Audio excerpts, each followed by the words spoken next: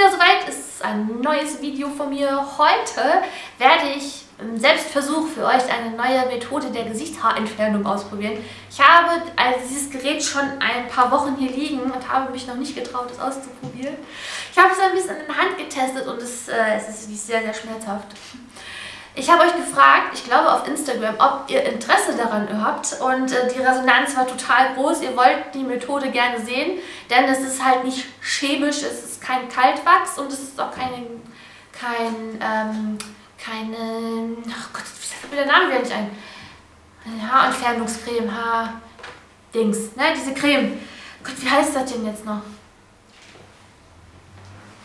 Enthaarungscreme. Enthaarungscreme. Also es ist keine Enthaarungscreme und kein Kaltwachsstreifen, also nichts, was irgendwie Allergien auslösen kann. Es ist auch kein Nassrasieren. Es ist ein Epiliergerät. Es ist von Braun und es ist ein ähm, Epiliergerät mit dem kleinsten Epilieraufsatz auf der Welt, aktuell, zurzeit mindestens. Und ähm, alternativ gibt es auch noch einen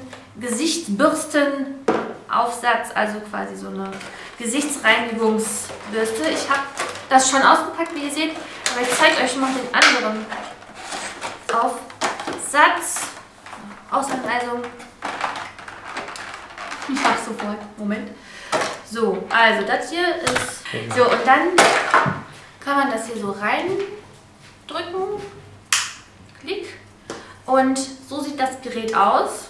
Mit Deckel. Das kann man abmachen, den Deckel. Und dann ist das hier das das klitzeklitzekleine Köpfchen hier, das ist das Epiliergerät. Das dreht sich in verschiedene Richtungen, ähm, weil natürlich die Haarwuchsrichtung hier anders ist als der Seite.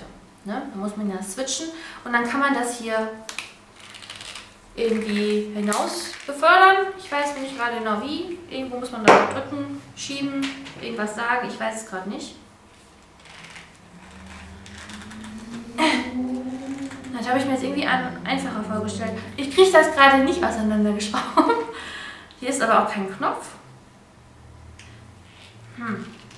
Da muss ich mir vielleicht die Gebrauchsanweisung zu angucken. Ich habe es gerade noch rausgekriegt. Ah, man muss einfach ziehen, nicht drehen. Ziehen. Okay. So, und dann kann man den Aufsatz reindrücken. Irgendwie. So. Und dann hätte man eine Bürste, die ist übrigens total weich. Fühlt sich echt ganz angenehm an. Und die dreht sich auch in verschiedene Richtungen, also links rum oder rechts rum, je nachdem. Damit könnt ihr dann wunderbar euer Gesicht reinigen. So, kommen wir aber zu dem Epiliergerät wieder zurück. Ähm, Epilieren hat natürlich den großen Vorteil, genauso wie ähm, das ähm, Hinausreißen per Pinzette oder mit Kaltwachsstreifen, dass das ganze Haar rausgezogen wird. Das heißt, ihr habt viel länger Ruhe und ähm, das Haar wächst ganz weich nach und nicht stoppelig. Wenn ihr nämlich rasieren würdet, dann ähm, kommt das immer stoppeliger raus weil ihr nur die feine Haarspitze abschneidet sozusagen und das dickere Haar dann, dann noch quasi weiter wächst. So habt ihr ähm, eine sicherere Methode, dass es nicht so borstig nachwächst. Außerdem hat Epilieren oder ähm, Kaltwachsstreifen den Vorteil, dass immer weniger Haare nachkommen, denn immer wenn ihr was rausreißt, dann ähm, einige Haare wachsen halt einfach gar nicht mehr nach. Das ist natürlich gut. Übrigens ist es nicht so, dass die Haare dann dunkler oder dicker oder irgendwie anders nachwachsen. Ich habe jetzt schon so oft hier diese Schnurhaare entfernt und ich hatte wirklich bisher, oder seht ihr das, ne? ich habe ja jetzt keinen Schnauzbart. Ne? Also ein Vollbart habe ich noch nicht gekriegt dadurch. Also alles cool. Da braucht ihr keine Angst haben. Also wenn ihr da ein paar lästige Haare habt, ihr könnt euch das natürlich auch, das hat meine Tante früher immer gemacht, die hat sich ähm, Bleichmittel, Blondiermittel darauf gegeben. Dann ist es einfach super hell gewesen und dann hat man es auch nicht gesehen hat sie gedacht, aber ich habe es gesehen. naja, jedenfalls, ich bin eher der Freund, das dann zu entfernen, als zu bleichen. Und was natürlich hiermit auch machbar ist, sind zum Beispiel andere fiese Stellen, die haarig sind, wie hier so oder in dem Bereich. Hier habe ich aber gerade so eine fiese, ich weiß nicht, eine trockene, fiese Stelle. Deswegen werde ich da gleich nicht dran gehen. Aber auf der anderen Seite, also dieser Bereich hier zwischen Augenbraue und Haaransatz, Da sind doch auch immer so ein paar fiese, verirrte Haare. Und die braucht man dann nicht mit der Pinzette so einzeln wegzupfen. Und dann könnte ich mir vorstellen, dass das relativ praktisch ist.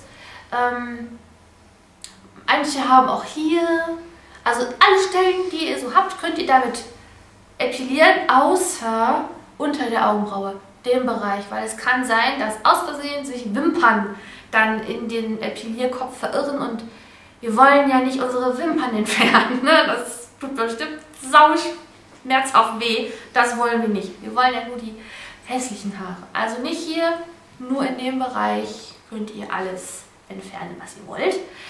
Ja, ich habe auch letztens ein Video gesehen von Miss Chivas. Die hat gesagt, dass sie ihr Gesicht vor ganz bestimmten speziellen Events nass rasiert. Okay, ist auch eine Möglichkeit. Habe ich noch nicht ausprobiert. Ähm, ich weiß nicht. Vielleicht mache ich das mal irgendwann. Okay, also ich habe hier schon äh, vorbereitet einen kleinen Handspiegel, damit ich das sehe. Und ähm, ich werde mich jetzt überwinden, das zu tun. Ich will nicht, ehrlich. Ich will das nicht tun. Ich hoffe, ihr wisst das zu schätzen.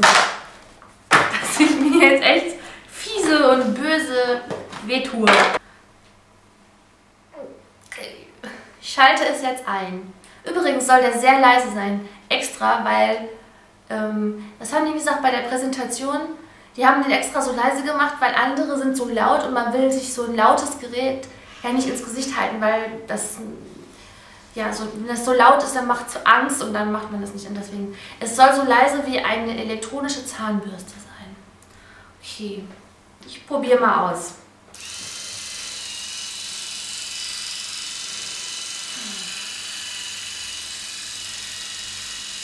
Okay, das tut echt weh. Oh, Flu.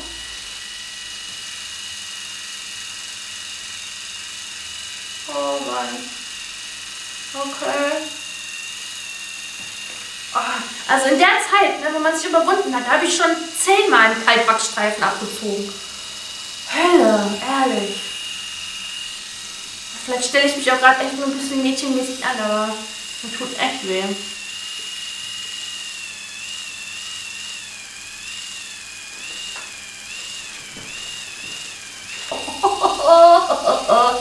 Oh, je näher man zur Nase kommt, desto mehr zieht das. Also ich habe auch schon echt Tränen in den Augen. Oh, mein Schminke läuft schon. Oh. Aber man kriegt echt die Haare weg. Es ist ganz weich. Ich mach mal das Ding aus. Oh, diese Stille. Ja, die Haare sind auf jeden Fall weg. Und es ist schön rot. So, ich würde sagen, ah, das reicht auch. Ähm, jetzt sind hier natürlich so ein paar Haare in dem Köpfchen drin. Das kann man hier mit dem mitbeiliegenden Bürstchen einfach so raus machen. Die Haare so weg. Da kommen tatsächlich doch einige, fliegen jetzt hier so rum, feine blonde Härchen mit raus. So, also es hat doch ordentlich was ähm, entfernt. Ich glaube, bei der Produktpräsentation haben die auch gesagt, dass sie irgendwie zehnmal feinere Haare erwischen mit dem Epilierer als ähm, Wachs zum Beispiel oder so, weil die ähm, Haare müssen beim, beim Kaltwachs eine gewisse Länge haben, damit das Wachs das packt das Haar und rausziehen kann. Und beim Epilieren, also das Gerät, das äh, schafft auch ganz feine, kleinere Haare, was natürlich gut ist. Ja, getestet mit sensibler Haut. Okay, dazu sage ich jetzt mal nichts. Äh, Batterien sind übrigens auch bei, falls ihr euch das fragt. Okay, dann ähm, werde ich jetzt hier noch diese Partie ausprobieren. An, an der Augenbraue. Mal gucken, ob ich das da auch hinkriege. Fühlt sich ein bisschen taub an die Stelle auch. Hm, ein bisschen komisch, wie wenn man beim Zahnarzt war und eine Spritze gekriegt hat. So ungefähr, so ein bisschen fühlt sich das an. Falsch rum. Ich habe echt Angst, dass ich mir die halbe Augenbraue damit auch rausreiße, ehrlich gesagt. Irgendwie. Hm.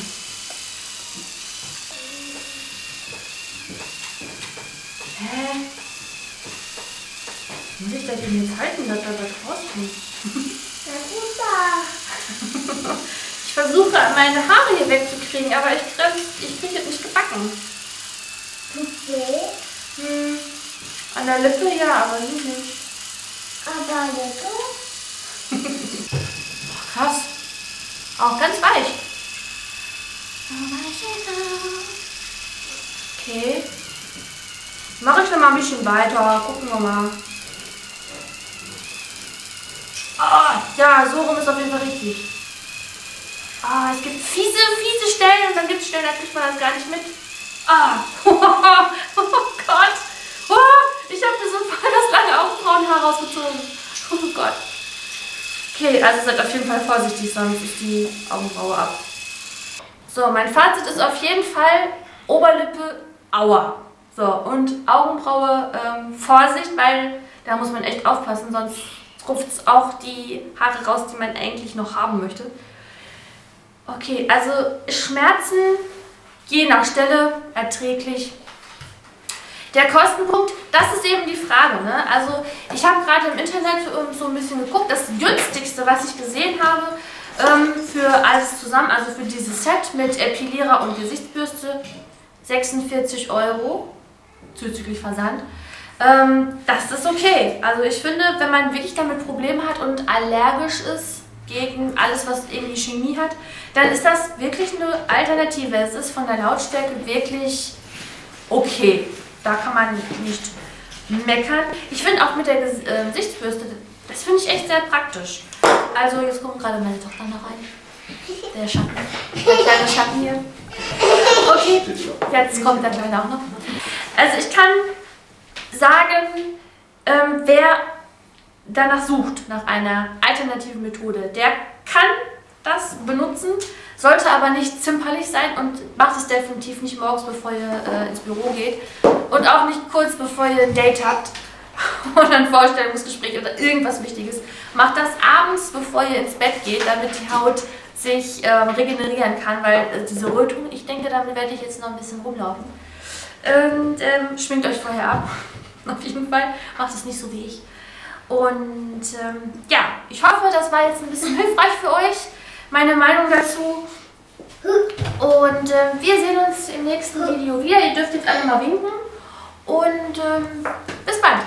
Ich habe im Herbst, da fängt das sofort an, ich merke das sofort, sobald es ein bisschen kühler draußen wird, fangen meine Lippen an total trocken zu werden. Und dafür habe ich mir jetzt diese super mega gehypte äh,